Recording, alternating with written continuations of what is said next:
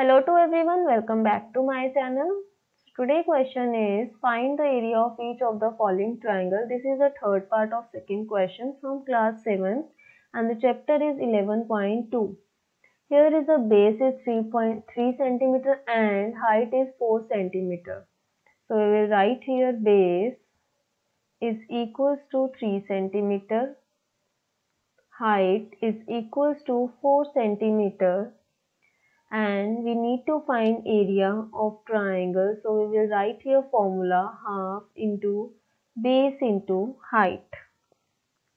Now substitute the value then half into base is 3 into height is 4 now simplify this 4 2 ones are 2 2 2 are 4 and here is 3 into 2 is equals to 6 centimeter square.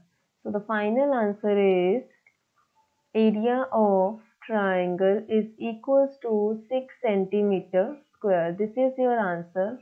I hope it will clear to you.